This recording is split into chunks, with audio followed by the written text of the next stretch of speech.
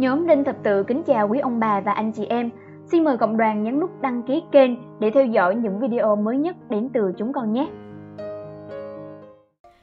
Hoa thơm Chúa hái về trời, con theo ý Chúa dâng lời xin vâng.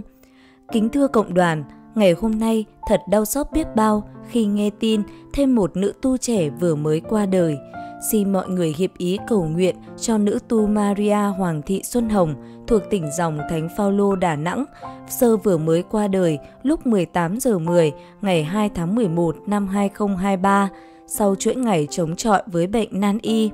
Sơ ra đi khi tuổi đời còn khá trẻ, chỉ mới 56 tuổi với 26 năm tu dòng. Trong tình hiệp thông, xin quý cộng đoàn cùng cầu nguyện cho linh hồn sơ Maria mau hưởng nhan thánh Chúa và xin Chúa ban ơn, nâng đỡ, an ủi tang quyến.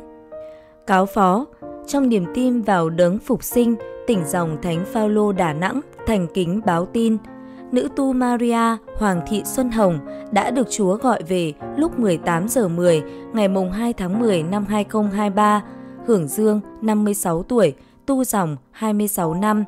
Giờ cầu nguyện của tỉnh dòng cho sơ Maria Xuân Hồng – 9 giờ 30 phút ngày mùng 3 tháng 10 năm 2023. Nghi thức tẩm liệm 10 giờ ngày 3 tháng 10 năm 2023. Di quan 5 giờ ngày 4 tháng 10 năm 2023. Thánh lễ an táng 5 giờ 15 ngày 4 tháng 10 năm 2023 tại nguyện đường Cộng đoàn Hưu Dưỡng 123 Phan Tứ, Ngũ Hành Sơn, Đà Nẵng. An táng tại Nghĩa Trang tỉnh Dòng, Hòa Sơn, Đà Nẵng Tiểu sử nữ tu Maria Hoàng thị Xuân Hồng, sinh ngày 10 tháng 10 năm 1967 tại làng Phổ Lại, xã Quảng Vinh, huyện Quảng Điền, tỉnh Thừa Thiên Huế. Được nhận vào dòng thánh Phaolô thành Chastels ngày 3 tháng 7 năm 1996. Lãnh tu phục ngày 31 tháng 5 năm 1997. Tuyên khấn lần đầu ngày 31 tháng 5 năm 1999. Tuyên khấn vĩnh viễn ngày 27 tháng 5 năm 2006. Năm 1999, phục vụ các bà nhà đau tại cộng đoàn hưu dưỡng. Năm 2001, giúp bếp phụ coi nội chú tại cộng đoàn Paulo Pleiku. Năm 2005, kinh viện ở biển. Năm 2006, giúp nhà trẻ Thánh Tâm. Năm 2008, làm bếp tại cộng đoàn Paulo Pleiku năm 2010 giúp nhà trẻ tại Cộng đoàn Thanh An, Gia Lai. Năm 2011 giúp nhà trẻ tại Cộng đoàn Chợ Đồn, Gia Lai. Năm 2012 coi nhà khách, giúp việc nhà tại Cộng đoàn Hưu Dưỡng. Năm 2018 giúp việc nhà và chữa bệnh tại Cộng đoàn Kim Long, Huế. Ngày 19 tháng 9 năm 2023 trở bệnh nặng về lại Cộng đoàn Hưu Dưỡng ngày mùng 2 tháng 10 năm 2023, Chúa gọi về.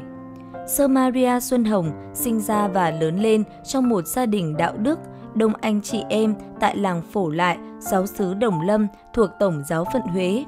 26 năm sống đời dâng hiến và 19 năm phục vụ trong những công việc đa dạng như giúp các chị em đau yếu bệnh tật, giúp bếp, giúp nhà trẻ, nội trú. Chị đã làm công việc hàng ngày với tất cả tấm lòng và sự nhiệt thành yêu mến Chúa và hội dòng.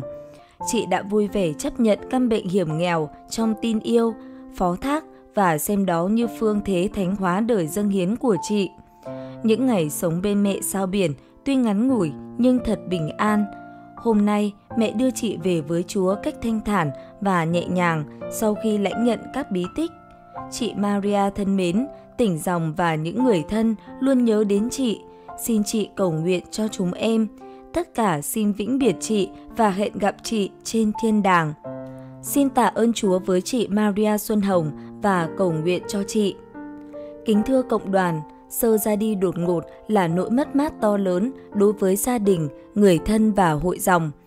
Khi suy ngẫm về sự ra đi của sơ, chúng ta cũng tự nhìn nhận thân phận mỏng giòn của mình.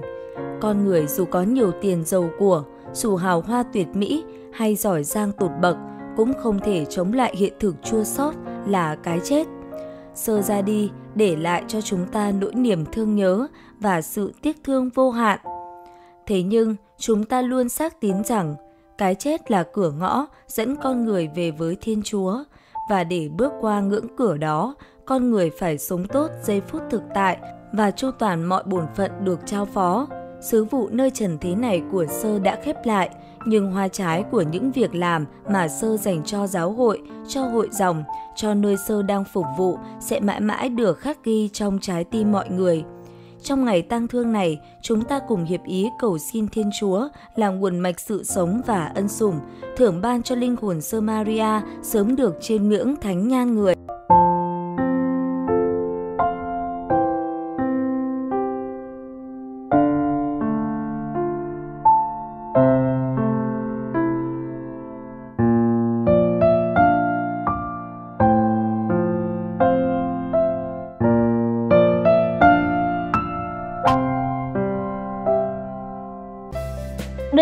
Cảm ơn quý ông bà và anh chị em đã đón xem. Xin Chúa chúc lành cho tất cả mọi người. Và đừng quên đăng ký kênh để theo dõi những video mới đến từ chúng con.